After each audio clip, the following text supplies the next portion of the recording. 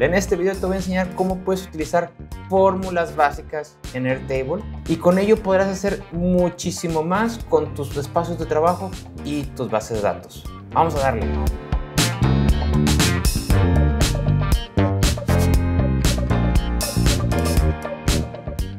¿Qué tal? Soy César Cosillo y qué bueno tenerte por acá.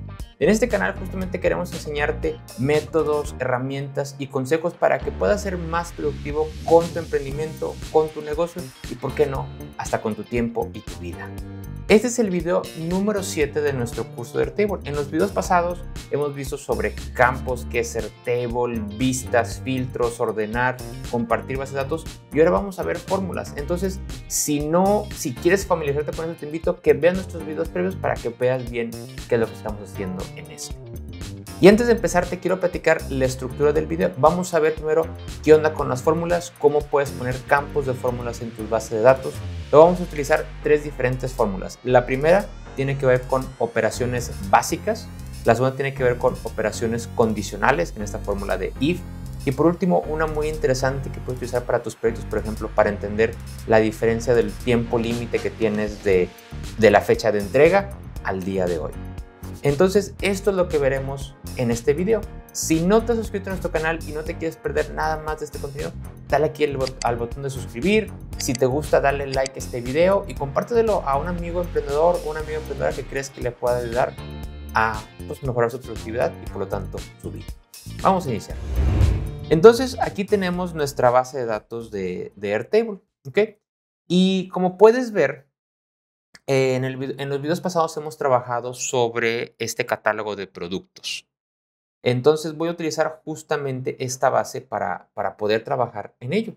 Entonces de aquí quiero que veas que hice una nueva tabla donde puse, por ejemplo, vamos a poner que eso es una tabla de órdenes, de órdenes que te hicieron algunos clientes. Entonces tengo orden, tengo una selección única de estados, por ejemplo, si están pagadas, si están canceladas o están en el carrito. Y aquí tengo, por ejemplo, la, cantidad, la cantidad de, productos que me están pidiendo para ello. ¿va? Vamos a comenzar primero con esta opción de vincular otro registro. Me voy a ir a catálogo de productos. Voy a crear este campo. ¿Para qué? Justamente para que pueda seleccionar los productos que vienen de allá. Nada más en lo que se carga. Sí. Entonces me aparece la opción, saltar y aquí está. Entonces aquí puedo seleccionar, ¿sabes qué? Aquí hemos hecho uno de tenis, puedo seleccionar algunos tenis en específico. Y de aquí también quiero irme a la, pues, a la cuestión de, al campo de búsqueda, catálogo de productos y quiero el precio, porque justamente quiero utilizarlo para, para estas cuestiones, ¿va? Entonces, quiero que veas esto. Cada vez que selecciono un tenis diferente, me va a traer el precio correspondiente de ello. Y entonces esto me va a ayudar mucho para, para este ejercicio. La verdad es que estoy seleccionando tenis al azar es porque tenga unos en específico. Y un primer componente tiene que ver con em, justamente e, esta parte de una operación básica. ¿okay? Si la gente me pide esta cantidad, eh, o porque tengo varias cantidades por este precio, pues cuánto me da. El primer punto tiene que ver con la fórmula, que es lo que te había dicho. Entonces, aquí en la fórmula vamos a buscar, vamos a justamente a buscar la fórmula. Aquí está.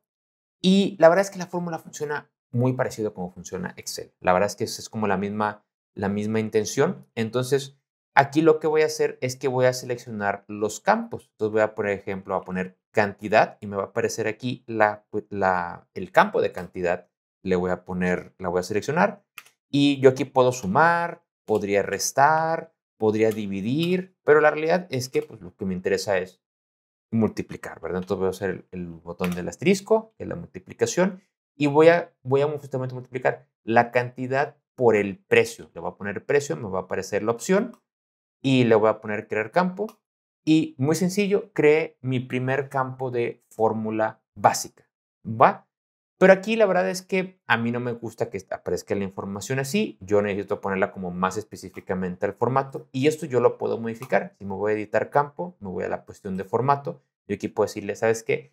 Airtable cómo quiero que me aparezca esta información. Le voy a poner aquí en moneda, le voy a poner guardar y entonces justamente me va a aparecer esta moneda.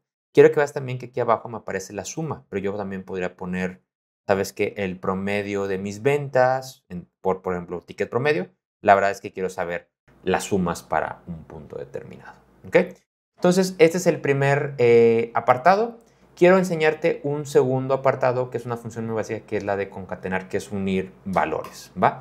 Aquí tengo una segunda tabla de clientes, ¿va? Pero yo les pedí que me llenaran primero nombre y apellido y quiero tener el nombre completo porque así me interesa. Yo aquí, dentro de esta opción, me voy a ir al apartado de, en vez de texto una sola línea, le voy a poner otra vez fórmula y voy a utilizar esta función de concatenar. Le voy a poner con, y viene concatenate, y aquí justamente voy a empezar.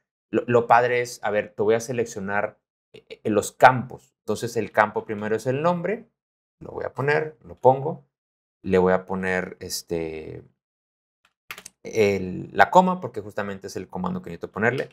Eh, le voy a poner unas comillas y le voy a poner un espacio, porque estas comillas lo que me indica eh, es que quiero que haya un espacio entre los valores que voy a unir. Y por último voy a buscar el otro apartado, que es el apellido, lo uno, cierro paréntesis, y entonces quiero que veas cómo se va a unir, y entonces me aparece la información así. Aquí pues es una función muy sencilla, nombre, apellido, pero la verdad es que tú puedes unir muchos valores que te, que te puedan ayudar justamente para esto. Nada más quiero que veas qué pasa si no le pongo eh, esto. ¿Ok? Lo voy a poner así. Y aunque les deje un espacio, me lo voy a poner juntos. ¿Ok? Entonces nada más es muy importante que si vas a usar esta función para un ejercicio como este, busques, pongas las comillas y les pongas un espacio entre comillas para tener esto. Entonces, esta es una segunda fórmula básica que tenemos para este ejercicio. Pero aquí quiero utilizar un tercer apartado, que es la fórmula de if, esta cuestión de condicional.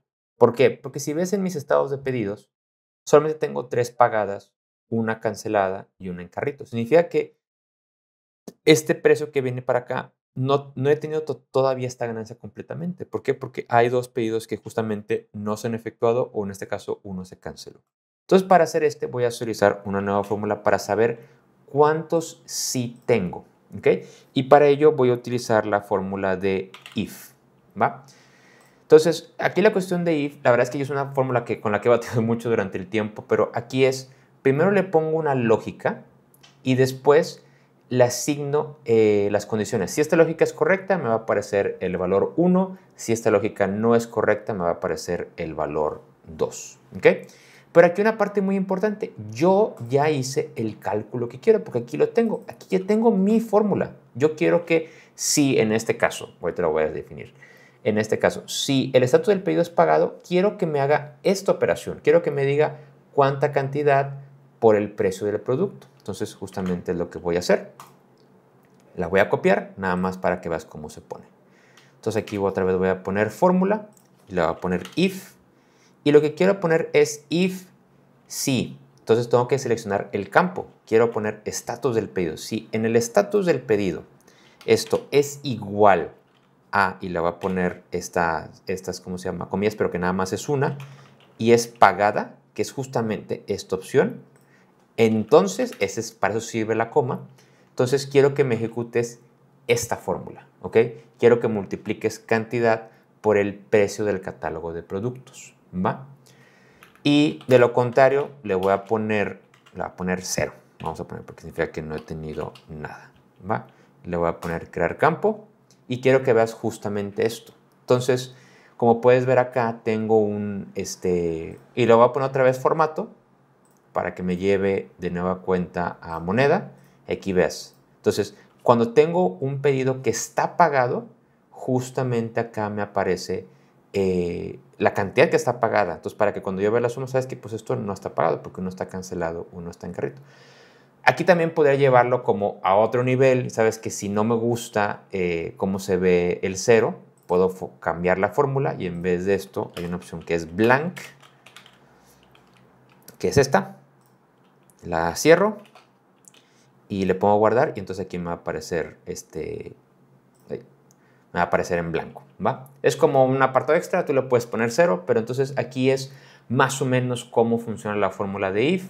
Entonces, este, pues tú lo puedes usar para cualquier apartado que tú quieras para tu, tu proyecto, Muy bien, entonces ya hicimos la fórmula de eh, operaciones básicas, ya hicimos la fórmula de, de, if, de condiciones, incluso hicimos una de concatenar extra. Ahora quiero enseñarte una que tiene que ver con cómo determinar si... Em, esto sirve mucho para el CRM, para, o para, mejor dicho, para, para tareas que tú tienes. ¿Cuánto tiempo me queda para cumplir una tarea? Sabes que de la fecha de límite que tengo al día de hoy, ¿cuánto tiempo me queda para cumplirla? Entonces voy a seleccionar otra vez la fórmula. Aquí le voy a poner fórmula. Y este se llama difference, date time difference. ¿ok? Entonces la vas a seleccionar.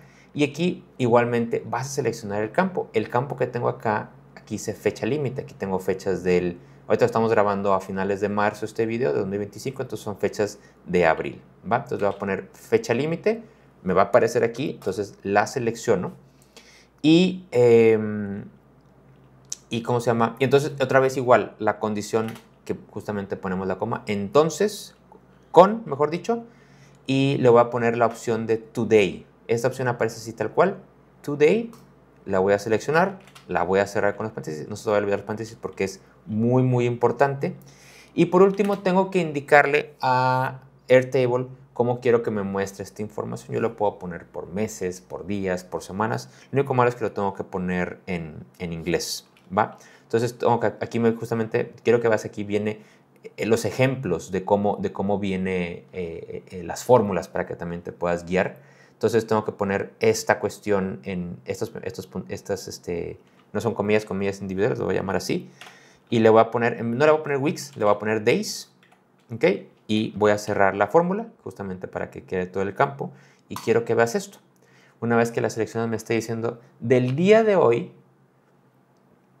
del día de hoy al 29 de abril, hoy estamos el 26 de marzo cuando grabamos este video, faltan 34 días. Para esta actividad faltan 20 días, 26 días, 9 días, 34 días y quiero que veas aquí esta. Esta como está para el año pasado, 2024, me parece que son menos 130 días. Pero quiero que veas que si la actualizo, eh, vamos a poner que es para el marzo, entonces aquí me va a aparecer que son tres días automáticamente. ¿va?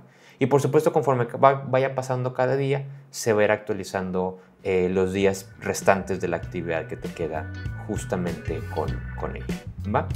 Bueno, es que hay muchísimas fórmulas más que puedes hacer en Airtable. Te voy a dejar un link aquí abajo para que tú justamente puedas ver muchísimas más funciones. Estas son operaciones o fórmulas muy básicas, entonces justamente para que tú lo puedas llevar y lo puedas implementar en los componentes y en tus bases que tú eh, quieras y cómo, las, y cómo las vayas a trabajar. Entonces con este video ya has aprendido más sobre fórmulas, estás llevando tu nivel de Airtable, tu nivel de productividad y que lo puedas implementar en tu negocio, ve tú las formas en las cuales lo puedas llevar a cabo en, operaciones o, en espacios de trabajo que justamente te sean útiles, te ahorren tiempo y lleven tu productividad y sobre todo tu negocio al siguiente nivel. En el siguiente video vamos a hablar sobre automatizaciones. Entonces, por supuesto, si no te has suscrito, nuevamente te invito a que lo hagas. Te agradezco que te hayas quedado hasta el final. Yo soy César Cosío y nos vemos en la próxima.